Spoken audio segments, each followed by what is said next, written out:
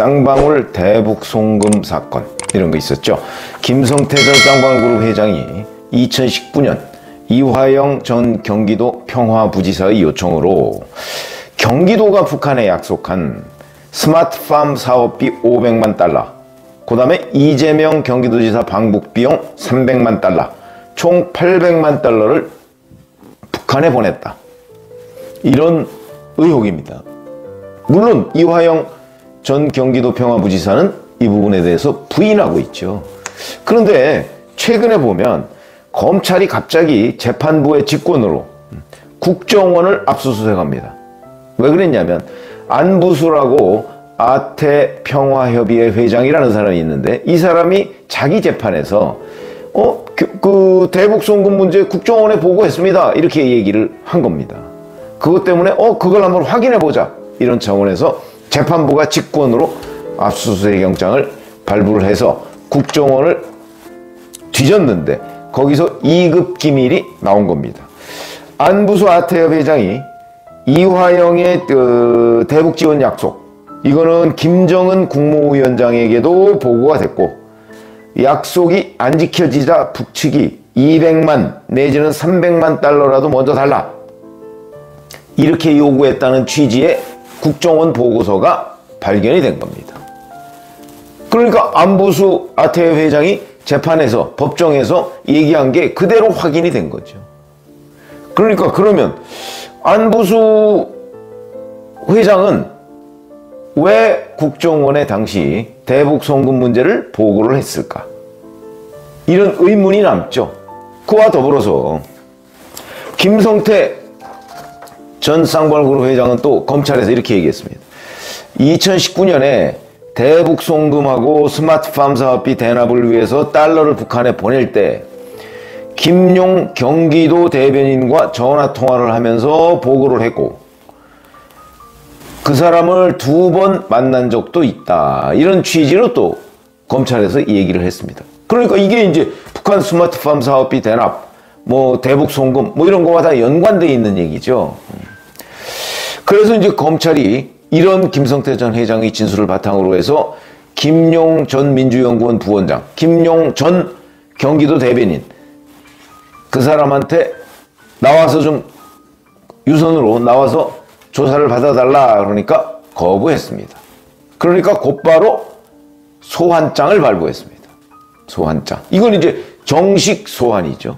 만약 여기에도 불응한다면 뭐 체포를 하든가 왜냐면 김용전 부원장은 지금 풀려나 있으니까 보석으로 어, 그렇게 충분히 할 수 있을 거로 보이는데 자 김용 측도 입장문을 냈습니다. 김용전 부원장은 김성태 전 회장과 경기도 대변인 시절 한 차례 식사를 한 것 외에는 어떤 교류도 없었음을 이미 밝혔다.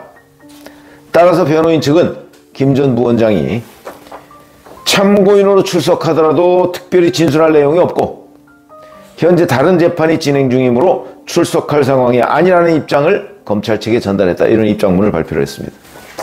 그러면 여기서 아까 제가 말씀드렸듯이 안부수 아태협 회장은 왜 국정원에 보고를 하고 김성태 전 회장은 또 왜 이재명의 경기도에 이런 문제를 보고를 했을까? 물론 보고를 받았다는 김용전 부원장은 부인을 하고 있지만 왜 했을까? 저는 사실이라고 보거든요. 할 만한 이유가 있었다는 거죠. 그 안부수 아태협 회장이 법정 진술을 한 데 대해서 이화영 전 부지사 측이 뭐라고 얘기를 하느냐면 당시에는 대북 제재가 있어서 현금 지원을 약속했다는 것 자체가 말이 안 된다. 이렇게 얘기했습니다. 그러니까 북한에 자기가 스마트팜 사업비를 지원하겠다고 얘기한 것도 사실이 아니고 왜냐면 원래 현실적으로 불가능한 거니까 사실이 아니고 그 다음에 쌍방울 대북송금 여기에 자기가 연루됐다는 것도 사실이 아니다. 전면 부인한 거죠. 여기에 이유가 딱 있습니다. 왜냐면 그때는 북한의 핵개발로 인한 현금 지원 또는 현금성 지원은 금지되어 있거든요.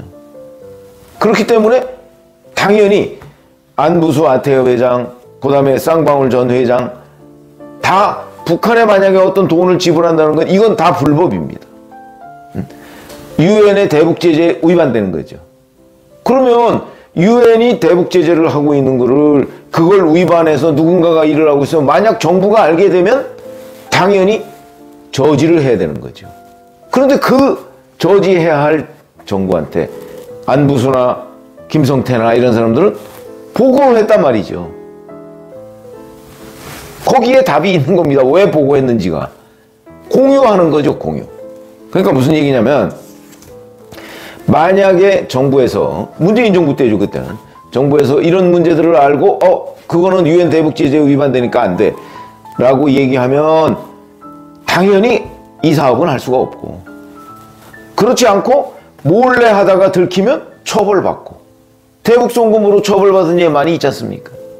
그렇기 때문에 이 사람들이 문재인 정부의 국정원, 그 다음에 이재명 경기도하고 이 문제를 같이 하기로 했다 하는 거는 결국 아 문재인 정부의 국정원도 음, 알게 되면 오히려 우리를 지원해주면 지원해줬지 막진 않을 거야.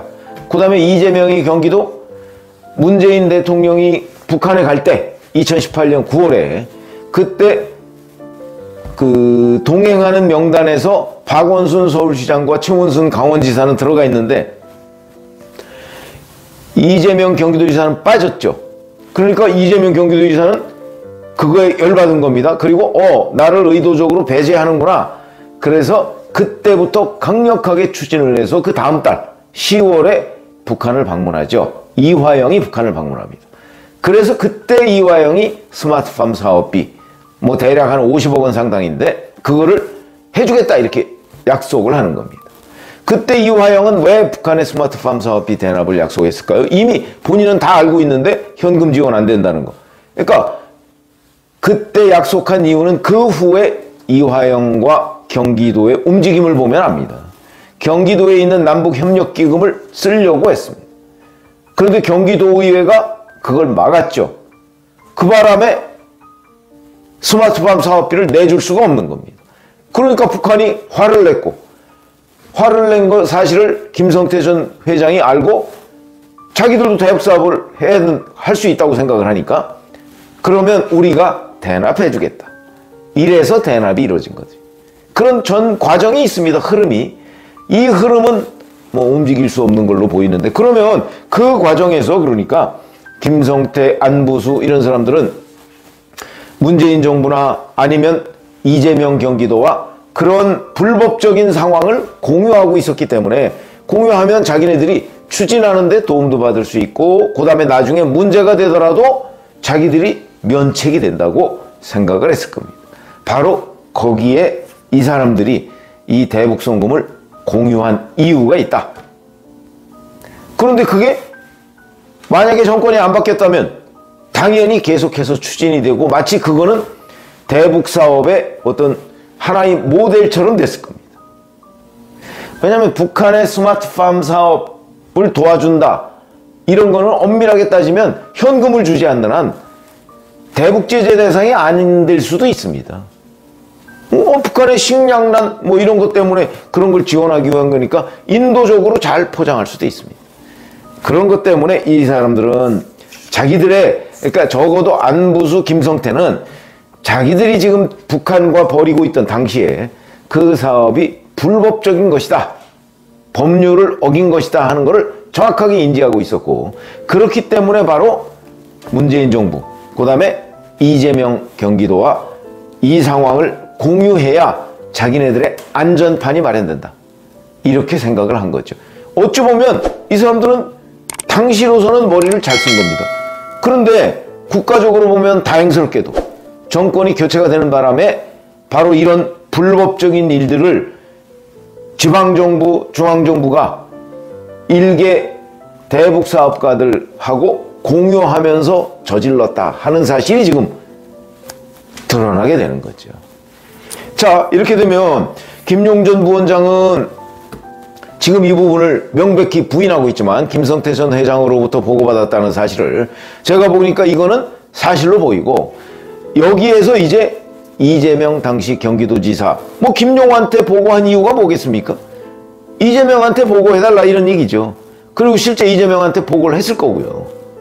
그러니까 이재명 경기도지사도 당연히 알고 있었겠죠. 근데 김용 전 부원장이 중간에서 지금 딱 꼬리를 자름으로써 아 이재명 경기도지사 김용 자기도 보고 안 받았다는데 차게 요구했던 것이 주류 교체였다고 합니다. 주류 교체. 우리 사회에서의 인류와 주류를 교체하는 것을 원했는데 어, 결국은 그 교체가 됐지만 남은 것은 폭망이다 하는 겁니다.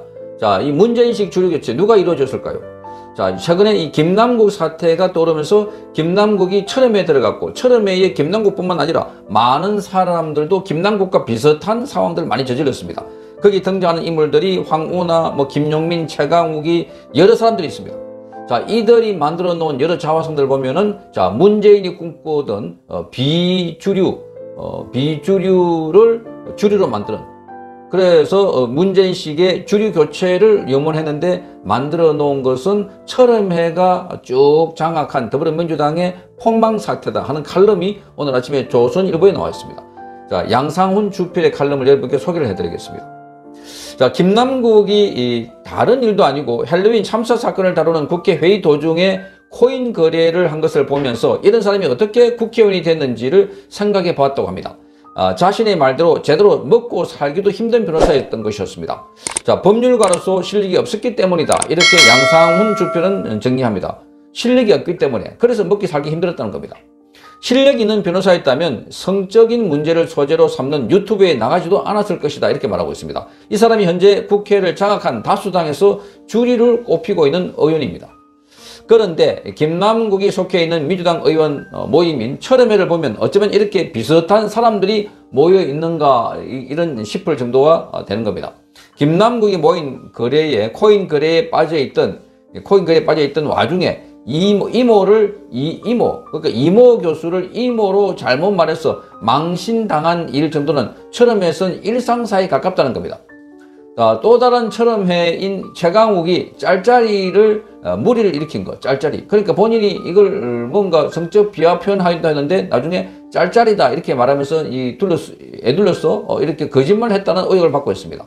거기다가 김성은 의원이 국회의장에게 GSGG 개 XX라고 욕설 한 것. 그리고 민형배 의원이 위장 탈당이라는 극단적인 행위를 하고서도 아무렇지 않다고 좀 버티고 있는 것. 강민정 의원이 정교조에게 정치자금 모금을 유도한 것. 문정복 의원이 다른 의원에게 능력 없는데 여자라서 의원 되느냐 이렇게 막말했다는 것. 또 양이원영 의원이 대통령의 해외 투자 유치를 투자 유출로 거꾸로 비난한 것. 그리고 김의겸이 가짜뉴스 공장처럼 된 것. 김용민이 영문 모르는 일본 의원과 사진 찍고 국내 정쟁에 이용한 것. 또 장경태가 대통령 부인 스토킹을 하는 것 등등 모두가 다 마찬가지라는 겁니다. 자, 복잡한 난제에서 실수를 하는 것이 아니라 조금 아주 이상한 행태들이다 하는 겁니다. 자, 철음의 멤버들이 물난리 재난을 방송하는 TV 앞에 둘러 앉아서 음식을 먹으면서 웃고 떠드는 모습들. 자, 이들의 경박과 경수를 그대로 보여준다는 겁니다. 이게 2020년 7월 30날 자, 열린민주당의 최강욱과 함께 여기에 철험의 회원들이 한 사무실에 모여서 찍 사진을 찍었는데 그 뒤에 TV 화면에는 대전의 침수 피해 소식을 알리는 특보가 나오 있었습니다. 자, 그런데 거기 대전 지역구가 바로 황운하였고 특보가 나오는 데 있어서도 그 앉아가지고 히득거리고 있었다는 겁니다. 그래서 어, 논란이 되자 아, 이날 오후에 이 사진을 삭제했다. 사진 올렸다가 나중에 삭제했다는 겁니다. 거기에 사진에 나왔던 사람이 이재정, 김성원, 박주민, 최강욱, 김용민, 황문아, 김남국 이런 사람이었습니다. 자, 이들은 모두 문재인 어, 대통령 시절에 민주당이나 민주당 아류 정당의 공천을 받았다는 공통점이 있습니다. 자, 문재인 퀴즈라고도 할 수 있습니다. 여기엔 하나의 흐름이 있는데 문재인은 대통령 취임 전후에서 이렇게 가장 이루고 싶은 일이 뭐냐 하는 질문을 받았는데 그 대답은 이렇습니다. 빈부 격차 해소나 남북 평화 등이 아닌 의외의 내용이었는데 바로 우리 사회의 주류 교체가 가장 큰 소망이라고 한 겁니다. 처음에는 진보 좌파를 주류로 만들고 싶다는 뜻으로 이해가 되는데 하지만 이미 스스로를 진보 좌파로 생각하는 사람 숫자가 보수와 별 차이도 없고 민주당이 15년이나 집권하게 되는데 자, 무엇이 더 필요하냐 하는 의아함도 있었다고 합니다. 자, 문재인이라고 하는 사람이 문재인이 바라는 사, 회 주류 교체의 진정한 뜻은 뭘까? 이념적과는 거리가 멀었다는 겁니다. 한마디로 우리 사회에서 속칭 인류라는 사람들이 있던 자리를 인류로 평가받지 못했던 사람들로 채우는 것이 자, 문재인식의 주류 교체라는 겁니다. 문재인 청와대의 실질적인 권력 그룹이었던 비서관이나 행정관들의 면면을 보면 주류 교체의 그런 뜻을 잘 알 수 있습니다. 자, 문재인의 개인사도 주류 교체 소망에 영향을 미쳤을 것으로 보입니다. 자, 문재인은 새칭 지방 명문고를 나왔지만 장학금을 받기 위해서 인류 대학 진학 대신에 다른 길을 선택했다고 합니다. 판검사 경력을 쌓지 못해 변호사 기업도 서울에서 하지 못하고 지방에서 했습니다. 능력이 있는데도 어쩌다 보니까 인류 간판을 얻지 못한 사람들은 매우 많다는 겁니다. 그들 중에는 간판에 개의치 않고 그리고 성공해서 남들을 돕는 사람이 있는가 하면 뒤에서 사회에 대한 반감을 키운 사람들도 있습니다. 자, 문재인은 내성적인 성격까지 더해져서 누가 농담으로도 자신의 약점을 언급하면 분노하고 이를 가슴에 담아뒀다고 합니다. 자, 문재인 어, 시절의 청와대, 정부, 법원, 민주당의 발탁 인사는 커도 작든 간에 주류 교체의 색깔을 띠고 있다고 합니다. 민주당의 처럼해도 이 흐름 속에 등장한 겁니다. 그 중에서도 김남국은 상징적 인물처럼 보입니다. 속칭 인류 아닌 변호사로서 조국수 개싸움 국민운동본부에 참여한 것을 계기로 해서 민주당에 스카웃됐습니다. 변호사 업계 변방에서 어렵게, 어렵게 살던 그가 그랑간 민주당의 주류, 국회의 주류가 된 것입니다. 정당의 공청에는 이상한 사람들이 끼어들고 있습니다. 처음에는 그런 정도를 넘어섰다고 봅니다. 자, 이들은 국가나 사회 어젠다 실천이 아니라 우리 사회의 극단적인 분열과 정쟁의 탐방울에서 어쩌다가 기회를 잡아서 쉽게 국회의원들이 된 사람들로 보입니다. 자, 문재인식의 주류 교체 분위기는 이들에게는 순풍이 돼 주었습니다. 공적인 관심을 갖고 자신을 단련해 오지 않았고 제대로 검증을 받은 적도 없기 때문에 그래서 코인 사건과 같은 문제는 연이어 터져 나올 수가 있는 것입니다. 자, 이들에게 공천해 준 사람과 그 정파를 위한 정쟁이 존재 이유라고 해도 과언이 아닌, 아닌 겁니다. 이 사람들이 지금 난무하는 저질 정쟁의 주역인 것은 결코 우연이 아니라는 이유입니다. 인류로의 치우침이 심한 우리 사회에서는 문제인식의 주류 교체가 의미가 있을 수 있었습니다. 그러나 지금 그의 주류 교체 소원은 기억하는 사람도 없습니다.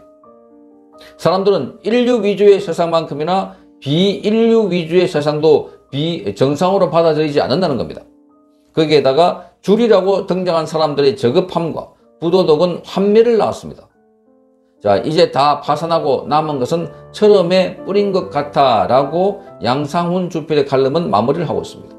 자, 그러니까 문재인이 지금 우리 사회에 주류 교체를 하겠다 하는데 그 주류 교체의 가장 핵심 코어로 등장한 게 철음회고 그 철음회 중에서도 핵심 이번에 활용 점정을 찍은 게 김남국이다.